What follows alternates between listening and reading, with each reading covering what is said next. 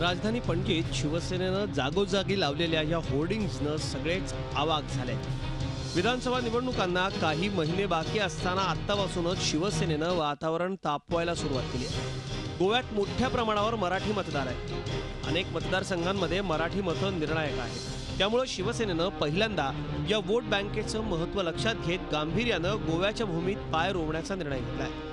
होर्डिंगच्या माध्यमातून सत्ताधारी भाजपला लक्ष करण्यात आलंय. लॉ अँड ऑर्डर कायदा सुव्यवस्था गोव्यातली कोसळलेली आहे. कॅसिनो जुगार हा आम्ही सत्तेवर येताच बंद करू कॅसिनो अशा प्रकारची भूमिका भारतीय जनता पक्षाने तेव्हा घेतली होती. पण जेव्हा ही भूमिका घेतली तेव्हा गोव्यात कॅसिनोच्या दोन बोटी होत्या. आज चौदा बोटी आहेत पंधरा बोटी आहेत. हे लक्षण चांगलं नाही. गोव्यात भाजपचा चेहरा असलेल्या मनोहर पर्रिकर यांना केंद्रात मंत्रिपदावर नेण्यात आलंय. नुकत्याच झालेल्या पणजी महापालिका निवडणुकीत भाजप पुरस्कृत आघाडीला पराभवाचा धक्का बसला होता. त्या पार्श्वभूमीवर भाजपच्या समोर गोव्यात सत्ता टिकवण्याचं आव्हान आहे.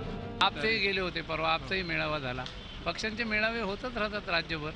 आतापासून तयारी केली अशा पोस्टर चांगलं आहे ना तुम्हाला काय वाईट वाटण्याचं कारण आहे? विचारते एक राजकीय पक्ष म्हणून जो तो आपली तयारी करतो निवडणुकीत. तशी सेनेने केली असेल. बघू ना आम्ही चर्चा करून ठरवू समजा चर्चेत नाही झालं तर वेगळं लढू. लढलोच की महाराष्ट्रामध्ये. आम आदमी पार्टीनंही गोवा विधानसभा निवडणूक लढवण्याची घोषणा केली आहे. त्यामुळं शिवसेना आणि आपनं गोव्यात भाजपच्या डोक्याचा ताप वाढवलाय हे मात्र नक्की. Amit जोशीसह Dinesh Dukhande Zee media Mumbai. Zee चोवीस तास. रहा एक पाऊल पुढे.